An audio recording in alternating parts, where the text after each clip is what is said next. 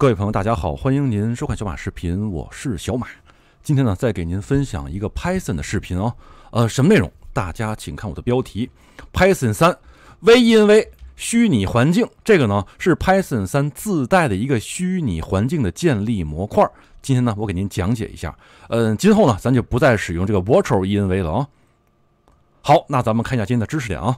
呃，知识点有三个：第一，使用 Python 自带的虚拟模块，咱们建立一个工程，或者说叫做项目。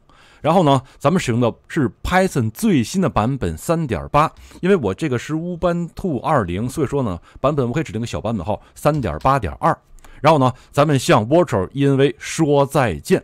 是这样啊，呃，我在去年做过这么一个这个 Python Virtual env 的这个视频，给您介绍一下这个 Virtual env 的 Python 虚拟环境的三大神器之一。呃，以下呢是我这个视频的链接，有兴趣去的朋友呢可以访问一下。但是今后咱们就不再用 Virtual env 了，为什么？是因为 Virtual env 啊，它是一个第三方的工具包。其实 Python 他们自己的工具包中带了一个 venv，咱们用 Python 自己的模块就足够了啊。好，那咱们先手续，马上开始哦。实战演习，呃，首先说，我今天操作的环境是乌班兔二零。乌班兔二零里面呢，它默认已经装上了三点八的模块。如果您用的是其他的 Linux，或者说您用的是 Windows，您用的是这个 Mac，您需要自己进行安装啊。我推荐您使用 Python 的最新版本三点八哦。好，那咱们马上开始啊，马上实战一下。我这开一个终端窗口。最大化，然后把字体调大一些，好吧。然后咱们先干什么？首先咱们先装一下 Python 三，因为我装过了，对吧？所以说咱们直接看一下就行了啊。我直接敲 apt 收一下它就算了。大家请看，我已经装上了三点八，小版本号呢是三点八点二，没问题吧？同时，咱们如果想使用 Virtual 模块的话，咱们还得需要再装这么一个包，叫大家请看，叫做 venv。这个我给大家说一下啊。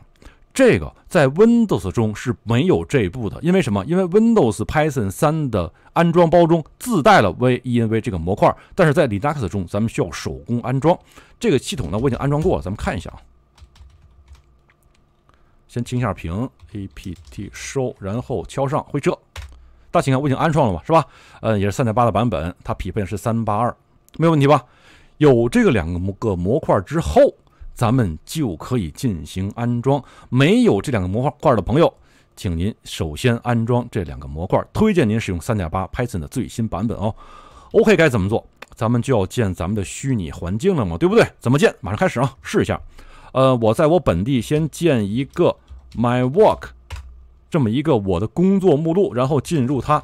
这个也可以是您，比如说这个工作室的这个学习区，呃，学习用的专专业目录，或者是您在这个项目目录都可以啊。啊，今天咱们就叫 My Work，在这下面之后怎么办？咱们敲 Python 三，然后空格加上一个杠 M，这杠 M 是什么？是说使用 Python 内置的模块。然后呢，模块名叫什么 V，因为比如说我用 pip，这敲 pip 都可以啊。然后呢，再空格，再敲上咱们的这个项目名，或者说子目录名，把它敲上，试一下啊。注意看，Go，正在创建，创建成功。咱们 list 一下，出来了吧？这么一个目录，那咱们进入它。好，在 list 看一下，这个就是咱们给咱建的一个虚拟目录，或说叫做虚拟环境。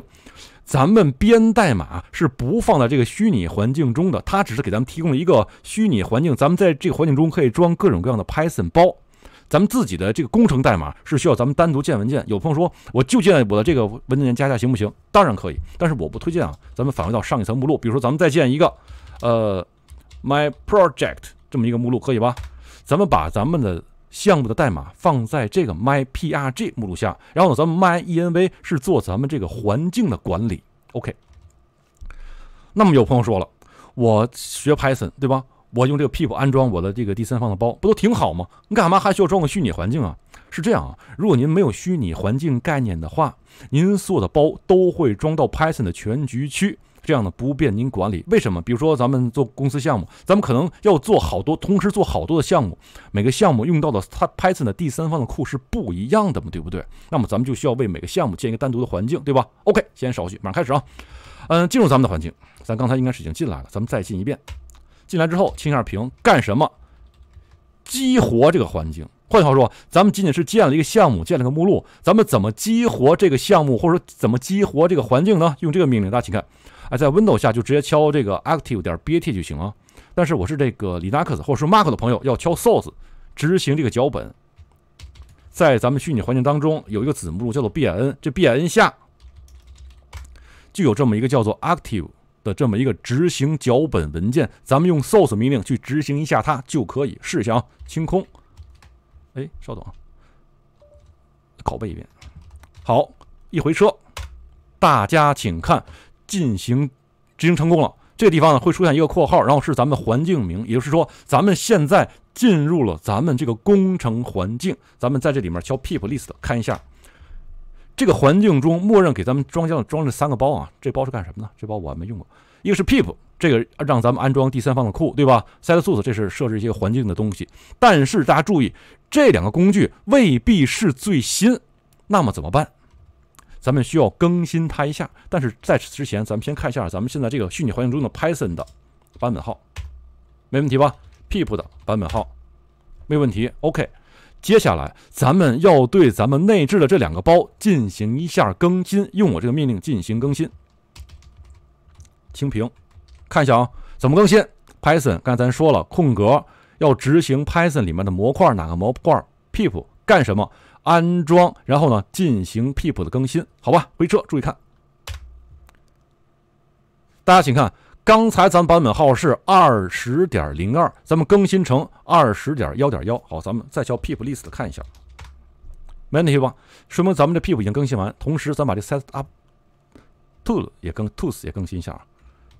这个英语叫 tool，日语叫次路，特特别难听。好，咱试试啊。Go 哎，大家请看，刚才咱们版本是四零四四零零，对吧？现在变成呢四七三幺。pip list 看一下，没问题吧？说明咱们虚拟环境中的安装包已经是最新的版本了。OK，接下来干什么？呃，接下来我想在这个环境当中再安装一个其他的模块第三方库，比如说咱们机器学习最常用的 NumPy，没问题吧？现在这个最新的 TensorFlow 二已经把 NumPy 集成进去了啊！这个今后我给您讲这个机器学习时候咱再说。好，在咱们现在环境中，咱们再装一个 NumPy。稍等，我清一下屏吧。好，试上 Go。正在安装，成功之后，pip list 看一下咱们本这本工程的一览，大家请看 NumPy 装进来了吧？一点一九，没问题吧？OK，使用一下，怎么用？呃，我需要建一个 Python 文件，但是我跟您说过，咱们现在待的这个目录是咱们环境目录，咱们的源代码不要放在这个目录下，那么该怎么办？退出，进入咱们刚才建的 My Project，行吧？清一下屏，咱们在这个地方，咱们建一个 Python 文件，这个 Python 文件中用到刚才咱们安装的 NumPy，试一下啊，Go，好，我把这个我预预前给您做的这个代码拷贝过来啊。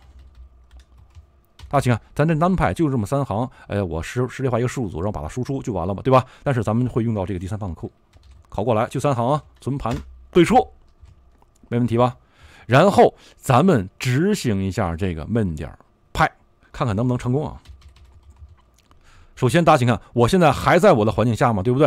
也就是说，我在我的环境当中去执行。哎，稍等，啊，我刚才一拷贝的话，它就默认给拷贝到这个剪贴板里了。执行 Python，然后是 main 点 num Python，对吧？咱们试一下啊，Go。大家请看，输出的数组一二三四五，就是咱们刚刚定义的这个数组，对吧？然后 print 输出，也就是说，咱们在这个环境中安装的 NumPy 这个组件生效了，没问题吧？OK。接下来，今天最后。我这个编写都完成了，我工作也完成了，我现在想回家了，对吧？那么我需要退出我的环境。换句话说，我可能这个工这个环境的工作我做完了，我想再进一个其他的环境，那怎么办？那需要退出咱们现在环境。怎么退出？用这个命令，deactivate。用这个命令，注意看，我一回车有什么变化啊？大家请看，前面这个 my 因为消失了，那么也就是说，我退出了刚才的咱们那个虚拟环境。那么，在这个环现在这个当前环境下，我再执行一下，我这个闷点 Python 会怎么样呢？这个文件里面可是 import 了 NumPy 那个包嘛，对吧？好，试一试，看还能不能执行成功啊？大家请看，连 Python 都没有了，因为我退出环境嘛。这个 Python 是那个环境中的命令，我现在在我在我本地敲三点八，应该是。注意看啊，也不行吧？为什么？因为他说没有找到这个模块 Python。也就是说，咱们退出那个环境之后，那么那个环境里面所安装的一些个第三方的工具包，在咱们本地是不能够使用的。